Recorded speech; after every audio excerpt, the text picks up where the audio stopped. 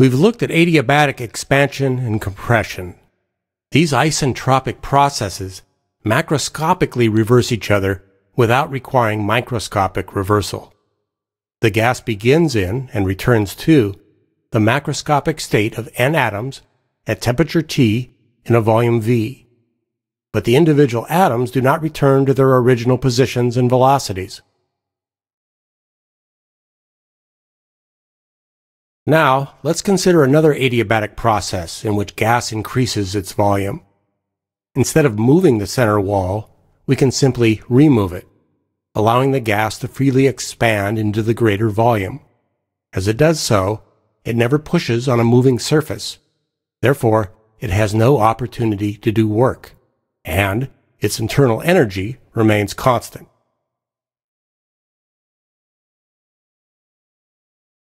So, in the free expansion of an ideal gas, the gas does no work, and its internal energy, and hence its temperature, do not change, unlike the case of normal adiabatic expansion. Since the temperature remains constant, the ratio of temperatures in our entropy expression can be taken to be 1, and we are left with entropy as a function of volume alone. During the free expansion, the volume increased, so the entropy increased, indicating an irreversible process. In particular, the gas will not spontaneously reduce its volume, thereby lowering its entropy. Of course, we could mechanically compress the gas and then remove heat equal to the work done. This would return the gas to its original state, but it would change the state of the rest of the universe. To be reversible, remember, we have to be able to return the entire universe to its original state. To gain more insight into our simplified entropy expression, let's drop the S0 term, at least for now. Note that V over V0, a ratio of volumes, is a dimensionless quantity, a pure number. Let's denote this as M and think of it as a number of elementary cells. That is, we think of our entire volume V as divided into M cells, each with volume V0. We can then specify an atom's position to within the dimensions of an elementary cell by stating which cell it is located in. The smaller V0, the more accurate is the specification of the atom's position. With this definition, we can write the entropy as S equals Kn natural log m. Using the power property of logarithms, this becomes K times natural log m to the nth power. Let's denote m to the nth power by capital gamma. The significance of this quantity is that it is the number of ways to distribute n atoms among the m cells. For n equal 1, there are m ways to distribute one atom. It can go in any of the m cells. For n equal 2, there are m squared arrangements. For any of the m cells the first atom can be in, the second atom can be in any of the m cells. And m times m is m squared. Extending this idea to n atoms, the number of arrangements is m to the nth power.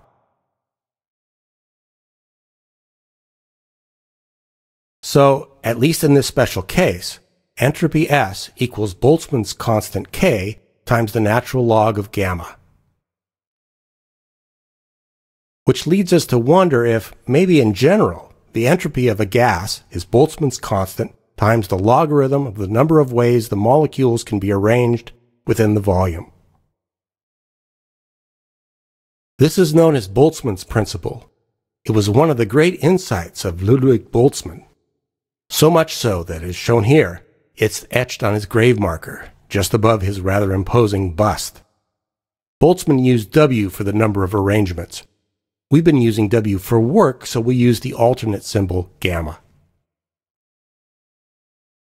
This gives us a new way to think about the entropy change in free expansion, and why a process like this doesn't spontaneously reverse, even though that is possible in theory. Let's set m to the n equal to gamma 1. This is the number of ways to arrange the N atoms among the M cells in our box. Then we allow the gas to expand into twice the volume. With twice the volume, there will be twice the number of cells, 2m. So the number of ways to arrange the n atoms in this doubled volume is gamma 2 equals 2m to the nth power, which is 2 to the n times gamma 1. Now we come to the new way of thinking. In video 2 of this series, we saw that a dynamic system of elastic balls is chaotic. Any uncertainty in its initial state grows exponentially with the number of collisions. So it is practically impossible to predict the microscopic physics of such a system. Let's turn that problem to our advantage by treating the system as so unpredictable as to effectively be a random process. That is, we think of the dynamics as essentially randomly shuffling the atoms' positions after each short interval of time. If we assume each of the possible gamma 2 atomic arrangements is equally likely, then each has a probability of occurrence equal to 1 over gamma 2. If at any time we look at the atomic arrangements in the large volume, what is the probability that all atoms, or more generally molecules, will be in the left half of the box? This is simply the fraction of the gamma 2 arrangements that have all atoms in the left half. But the number of such arrangements is just gamma 1, the number of arrangements in the original smaller box. So the probability is gamma 1 over gamma 2, which equals 1 half to the nth power. For large n, this is extremely small. So the question, why can't a gas sample spontaneously compress into half its original volume, has the answer, it can, but it's extremely unlikely. So unlikely as to effectively be impossible. Therefore, it is possible that if we keep watching our system, we will eventually see all the particles end up on the left side of the box. The gas will have spontaneously compressed. But with 64 particles, the probability of this occurring at a given time is 1 over 2 to the 64th power. This is about 1 over 18 times 10 to the 18th power. 1 over 18 million million million.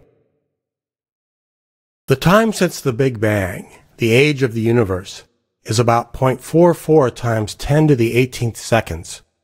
So even if we had been looking at our system once a second since the beginning of the universe, it is unlikely we would have ever seen this occur. Now imagine the timescale for spontaneous compression in the case of a gas with trillions of atoms. From this point of view, the second law of thermodynamics does not tell us what is impossible, only what is very, very improbable.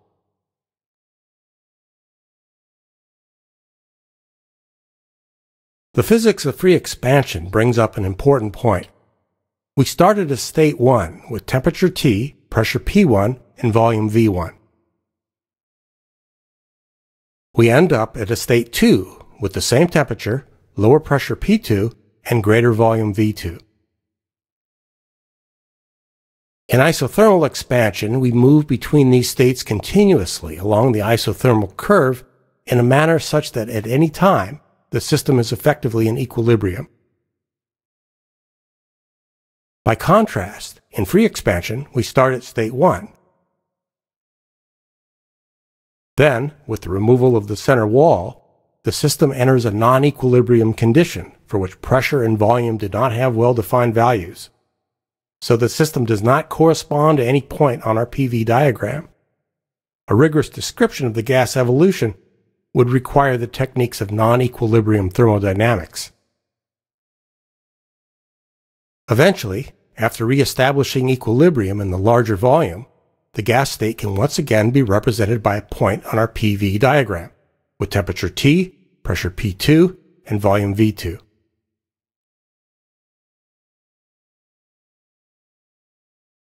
Now let's compare what happens in moving between these two states by these two processes, isothermal and free expansion. We start with volume V1 and end with volume V2. So the volume change in both cases is simply V2 minus V1. We only need to know the initial and final states to determine this. We don't need to know anything about the process that moved the system between the states. What about added heat? In isothermal expansion, as we've seen previously, the gas absorbs heat nkt log x2 over x1, where the x's are the piston positions, and x2 over x1 equals v2 over v1. But in free expansion, no heat is absorbed by the gas. There is no way to determine the added heat by simply knowing the initial and final states. We need to know the process that moved the system between the states. This is why we call quantities like volume, pressure, temperature, and entropy state variables, or alternately, state functions. Quantities like heat and work are called process functions.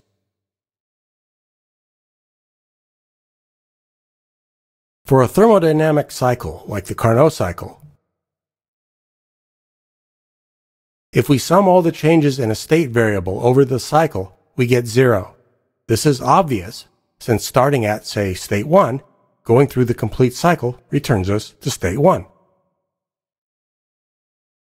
Since the initial and final states are the same, all state variables return to the same value, and the total change is zero.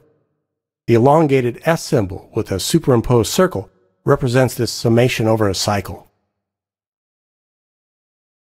But the total change over the cycle of a process function, such as added heat, is not necessarily zero. For the Carnot cycle, it's nk log x2 over x1 times T hot minus T cold, which is also the net work performed by the cycle. It's common in thermodynamics to use the d notation, such as dt or ds, for an infinitesimal change in a state variable. These are said to be exact differentials, which is another way of saying that summing them up over a closed cycle is guaranteed to be zero. The notation delta q represents an infinitesimal change in a process function. These are not guaranteed to sum to zero over a closed cycle. A variation on this applies when we consider changes over different paths between distinct initial and final states. For example, suppose we go from state 1 to state 3 of the Carnot cycle. Path A takes us along the forward cycle through state 2. Path B takes us along the reversed cycle through state 4. The sum of changes to a state variable has to be the same for both paths because the total change depends only on the initial and final states, which are the same for both paths. This is not true for a process function. In the next video, we will use the methods of statistical mechanics to flesh out the idea that entropy is a measure of the number of ways to arrange the molecules of a substance, and that the chaotic microdynamics of a gas effectively reshuffles that arrangement continuously. One of our results will be an expression for the absolute entropy of an ideal monatomic gas. Curiously, although the analysis is completely in the realm of classical physics, we will see that quantum mechanics sneaks into the final result.